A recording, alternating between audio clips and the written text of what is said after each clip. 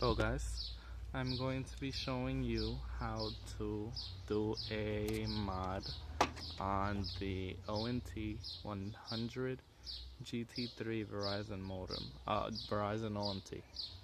Um, what this mod is going to do is, is going to allow you to use internet, TV, and phone on the battery backup system. What you need to do is pop off this little screw with a 3 8 inch socket. Um, then you're going to come to this panel. On these wires, on these connectors, there is, as you can see, I'm sorry.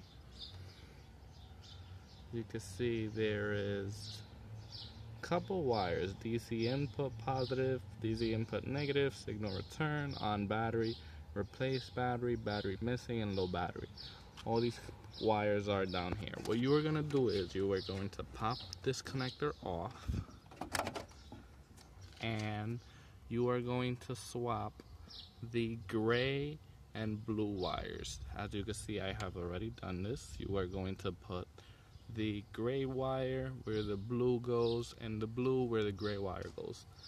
To pop these connectors off all you need is a flathead and they pop right off. Then you just crimp them down very hard to place them back in and just plug that right back in.